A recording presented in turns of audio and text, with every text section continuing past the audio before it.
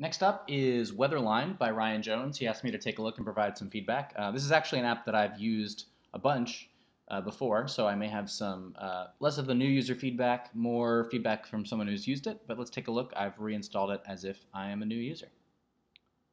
Okay, we get a loading screen, we get a flip, we get a dialog. Uh, we can simplify that to just already be here uh, without the flip and have the dialog. Um, I think that would that would be nice. Uh, then we then we have allow weatherline access. Your location is used to show the local weather forecast. I like the description. I think it should probably end in a period. Um, most, most of those alert view messages do. I'm going to see what happens if I don't allow that.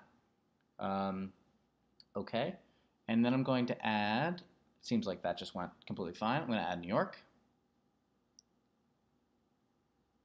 which is where I am. New York City, New York Mills, great um, there is a content inset bug here at the bottom of the screen uh, where it's cutting off the bottom subtitle label and the scroll indicator. Um, great. I'll tap New York City.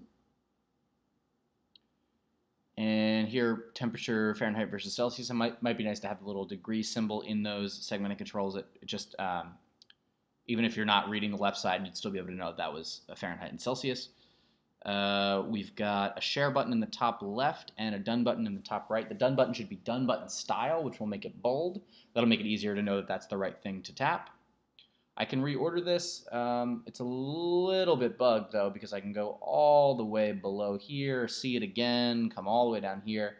Um, I think that that could be implemented in a, in a nicer way where that wouldn't happen.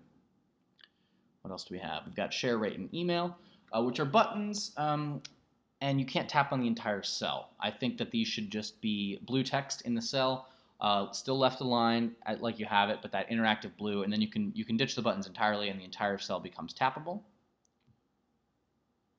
Okay. Requests or help. Um, okay, this is kind of nice, like rich text. I like that. Might be good to add a subject by default, just so they don't get the subject prompt um, when they try to send it. Okay, I'm going to tap done now and I've got my weather line, which is a line of temperatures and precipitation through my next day. I know it's going to rain tomorrow uh, or rain overnight uh, into tomorrow morning. Got hourly, daily, and monthly.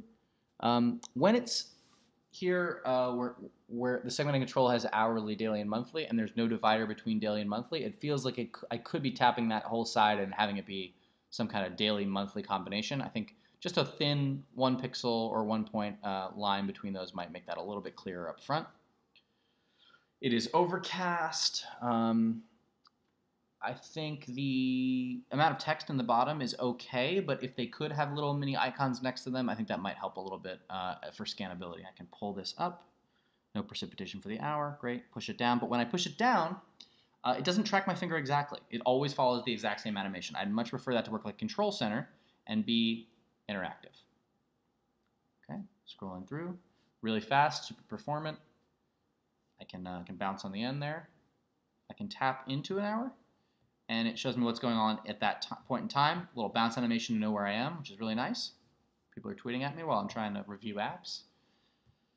Okay, uh, the daily, a little bit more compressed, can see a bit more. I like the use of color here, especially for, for what's going on. I like the, uh, more detailed. Feels like breezy throughout the day, mostly cloudy. Um, those can get a little bit long. Uh, like here, this is this is a lot of text.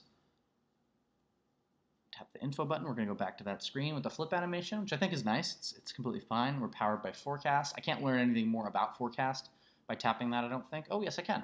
Just didn't didn't actually have a tap down state, so I didn't know that was going to work. Um, should really have a uh, highlighted state for that footer button. And let's see what else. I can swipe on the whole app, and that goes city to city, but I don't know that. Uh, I only know that because I've used the app before. If there was an affordance there, a little plus button, um, or something to let me know that I could keep swiping to add another city, that would be really great. I'm going to go do that in settings now, though. Add a city, my hometown, where I grew up, of Sicklerville, New Jersey, S-I-C-K-L-E-R. Um, while I'm typing, there's no indication that a search is happening a little uh, spinner in the content view of the search or the network activity indicator would, would fix that. Sicklerville, New Jersey. There it is. And um, speaking of this, this these text uh, labels hit really, really close to the separators in the cell. I would try and give them a little bit more breathing room. Tap it.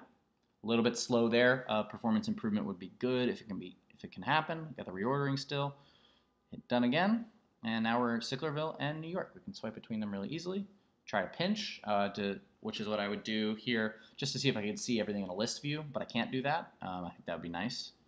Or a little back button um, in the top left that would allow me to see a list. I often like to compare the temperatures of different places against each other, especially if I'm going to a number of different places in a single day. Okay, let's check out any other aspects of the app. Is there 3D touch? No, there isn't. Not sure what that would do, if anything. I'm going to check out the widget, if there is one.